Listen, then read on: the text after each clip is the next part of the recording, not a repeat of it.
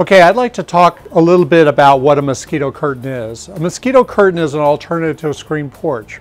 Um, just think of a very, very high quality material, custom made. We can do slopes, notches, all kinds of things with a perimeter webbing, double stitched, everything's marine grade. Now, why might somebody want a mosquito curtain over a traditional screen porch?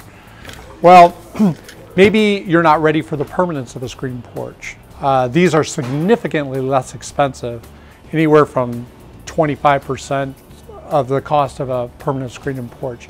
In our particular case, we had these beautiful spindle columns. And what the contractor told us is that we would have to frame around all that beautiful architecture and staple screening. And in our case, we just thought it would ruin the porch. So first of all, this is really, really tough, tough material. It's probably two, three, four times the thread weight of most uh, mosquito netting. And around the perimeter, we double stitch what amounts to a doubled over seatbelt all the way around. The sides, whenever attaching to a wall or a column or something like that, we have these marine snaps that will do that for you and just snap to the wall. We can, we even have uh, male snaps for brick, adhesive snaps, vinyl siding, aluminum siding, uh, so that you don't have to actually drill into those surfaces. The mosquito curtain is solution dyed. It will not fade. That's a big deal. It's a very big deal. It's what Sunbrella does to their fabric. It's why Sunbrella is as expensive as it is. So the sides are fastened with marine snaps.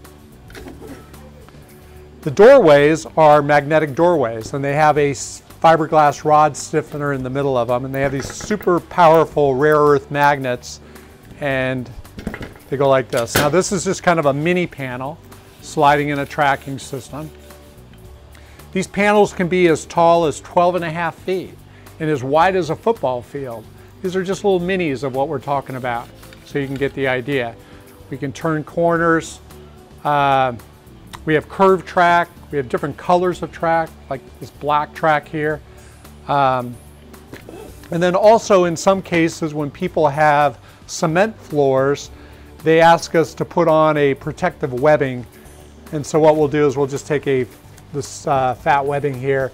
We might sew it to the bottom to give it a little, um, to let this interface with the patio rather than the bottom of the curtain.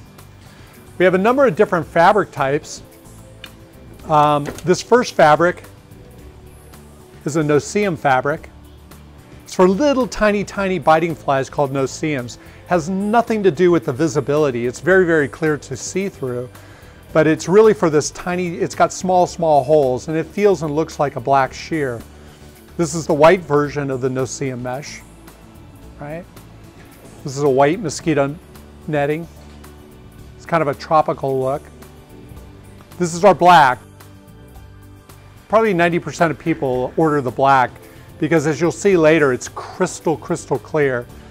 We also have an ivory color for when white is just a little too white. Um, so we have this ivory color. We have a black shade mesh that blocks, it's been lab tested to block 80% of the sun. Um, offers a little bit of privacy. You can't really see very well here, but as you look into the light, it has amazing clarity.